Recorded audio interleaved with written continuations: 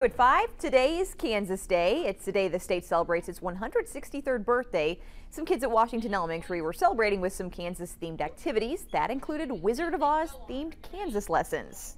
It's so much fun. The kids are so excited to learn. Um, and for us as teachers, it's really fun to get to present the material to them in a way that they're excited and it's fun for us to make it really magical. Kansas Day has been observed annually since 1877. I bet she's a fun teacher. I bet she is too.